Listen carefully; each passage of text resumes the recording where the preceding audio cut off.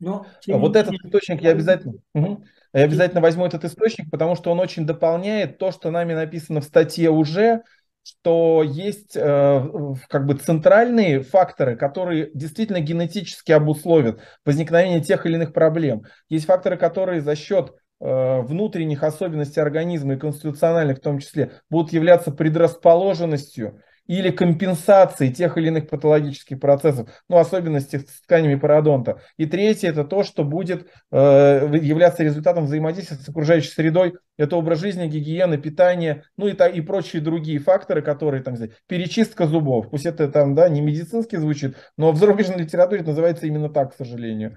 И которая происходит на самом деле у пациентов, которые на фоне отмены например, флуоксетина, на чем компания Лили заработала там вещественно несколько миллиардов, они выпустили препарат, который вроде должен всех успокаивать. Но на фоне его отмены, либо, извините, чрезмерного употребления, у пациента возникает обратный откат. И хотя к нам приходит вроде бы пациент, э, ну, вот в норме, пока он пьет его, мы видим, что он нормостейник, все у него хорошо, то, но почему-то у него очень жесткая перечистка зубов, и там вплоть до стираемости эмали, э, вестибулярные или клиновидные дефекты мы видим, или другие там некариозные поражения.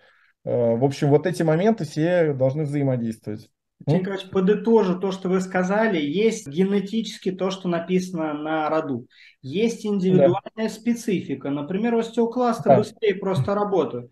И есть факторы внешней среды. То есть фактически мы должны в этом уравнении ни одно неизвестное а 100%. несколько неизвестных, приводящих к результату, и от этих переменных будет зависеть результат. Но, тем не менее, в концепте сегодняшней лекции о первой переменной мы сегодня больше говорим. То, что дано да. человеку изначально. Потом индивидуальная норма, то, что мы в следующий раз диагностику будем заниматься. И фактор, то, что, например, хирург вносит, это как он оперирует на тканях, как он к ним относится, это тоже является третий неизвестный, да, который мы должны да, учесть. Да и плюс как пациент ухаживает. То есть это вот надгенные эпигенетические факторы. И вот это в, в этом уравнении, да, вот из трех неизвестных, мы получаем результат. Дело в том, что по конституциональным признакам мы можем говорить не только о генетически детерминированном состоянии, но и также о факторах вот этого второго порядка. Если вы мне включите экран, я покажу одну модель, которую вот на сегодня мы предлагаем – ну, в разрезе, опять же, покажу на примере рецессии. Я думаю, что мы разберем многократно еще эту таблицу, поэтому скажу они просто вкратце, что мы для себя э, поняли, объединенные нами факторы, они являются генетически детерминированными, первичными. А вообще, конечно же, речь э, может идти о том, что вот есть три группы факторов. Это ядро, то есть то, что способствует первичное образование, является истинным этиологическим, истинным этиологическим фактором для образования, но в нашем случае рецессии десны. То есть там первичная дегесценция, или мы на клинике можем об этой таблице еще раз вернуться и поговорить. Но суть в том, что факторы первичные, вот они определяют, точно будет, да, как в паспорте, вот написана фамилия, вот она такая и есть. Угу.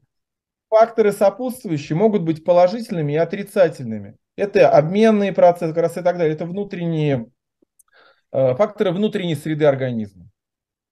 Конституциональные в том числе. Так вот, самое интересное, что Конституция будет влиять, что, на чем мы да, вот предыдущую часть остановили, и на генетически детерминированные. Мы можем конституцион, по конституциональным признакам определить, какие факторы были определены генетически, а также влиять на факторы, способствующие развитию той или иной патологии.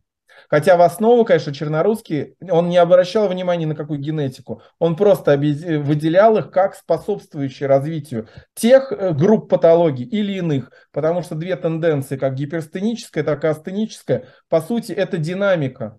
Ну, то есть это, значит, туда, там участвует физиология, а не только анатомия.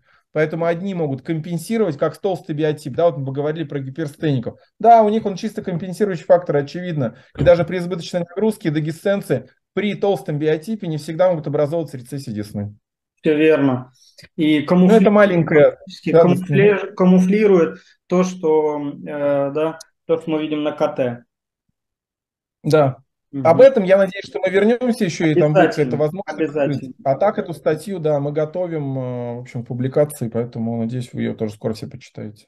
Есть реакция каждого индивида. Мы говорили о том, что есть атрофический компонент, атрофическая реакция, вот слева то, что написано, связана с уменьшением объема тканей, Э, снижение прекращения их функций. Больше атрофию он относит к астеническому телосложению. Говорит, что есть общая атрофия у пациентов, истощение, кахексия. По внешнему виду он это определяет. И есть гипертрофия, то есть э, в оппозицию он показывает другую э, форму. Это гипертрофия, то, что мы встречаем у пациентов с карманами, с пародонтитом, с переимплантитами. У них на внешние стимулы чаще всего развивается вот такая вот разрастание жировой, соединительной ткани, мягких тканей да, даже формируется ложная гипертрофия. Поэтому, в принципе, он говорит о том, что если мы говорим о регенерации, как заживает, то ответ мы можем ожидать совершенно разный.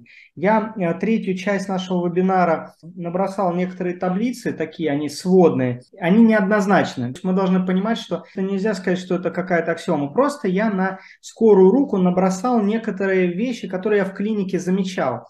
И, возможно, вот клиницистам она поможет хотя бы вот фундаментально немножко с каких-то позиций диагностику проводить, лечение выбирать. Она не претендует на истинность ни в коем случае, на всеобъемлющее. Просто мы ее набросали, скажем, и хотел бы вот по ней пройтись. Итак, целание. То есть это характерный ответ вот в контексте того, что мы говорим, это регенерация, заживление. У астеников чаще всего это атрофический рубец, например, на той же самой коже. У гиперстеников гипертрофический, но нормостеник – это центральная форма. Как вы, кажется, согласны с этим или больше да и больше нет? Или... Поскольку за а, образование э, отеков и в том числе ответственна такая группа соединений, как килоны, и их э, минимальная активность в течение суток – это по световому дню 21-23 часа, так называемый сон красоты или сон Афродиты. Очевидно, что пациентов астенических, у кого э, быстрее обмен веществ, как такового формирования огромного рубца и не наблюдается. У них очень сглаженный, аккуратный, ну, в общем, по понятным причинам, что эти вещества как пришли быстро, так быстро отработали и ушли. И момента вот этого избыточного образования тканей, конечно же, мы не видим. А в случае с гиперстонией, то есть тут, в принципе, да, я с этим согласен, Итак, с рубцеванием скорее да, чем нет. Тип костной ткани. В астенических телосложениях мы говорили о том, что преобладание кортикального вещества, оно ведь, оно же бессосудистое само по себе. Фактически мы говорим о избыточной минерализации этих пациентов, о об извествлении костной ткани, о переимплантозах. У пациентов гиперстеников больше губчатого вещества. Инфекция идет по вертикальному типу и меньше обызвествлено. То есть они более пустые, более порозистые. Вы с этим как согласны или... Вы знаете, я буду по этим таблицам еще э, вот эту группу пациентов с выраженной атрофией вычленил бы вообще отдельно. Потому что это результат э, какого-то либо продолжительной нагрузки, либо какой-то нагрузки пиковой и однократной, ну, что заставило резко поменять основные функции, и мы можем их по там, пальпации, по осмотру вроде бы отнести к одной из этих трех групп, но когда мы смотрим их компьютерную томографию и делаем какие-то измерения в полости рта, ну и так далее, да, когда мы более подробно погружаемся в эту историю, то мы видим, что это пациенты другой группы, но у них есть признаки с очень выраженной атрофией, которые ставят вообще под вопрос все наше, ну там, хирургическое лечение первичное, так в том точно. Вызвествление – это приспособительная реакция в ответ на перегрузку, то есть их система не амортизирующая, ей проще известью покрыться, нежели амортизировать, как у тех типов. То есть вот так вот, наверное, вопрос ставить нужно. Об Поскольку обменные процессы, да, они регулируются эндокринно, и э, избыточная концентрация э, минеральных солей может быть как недостатком одного компонента, э, регулирующего да, обмен кальция, повышающий усвояемость, так и недостаток другого компонента, который не выводит его, или сниженный, опять же, там титр э, макрофагов или остеокластов, то вот так строго вот нам не получилось э, вот когда взаимосвязать. Поэтому мы можем наблюдать как и полярные значения, так и отклонения от них, на самом деле, в любой группе принято. То есть желтый мы оставляем, то есть так, такую амбивалентную историю.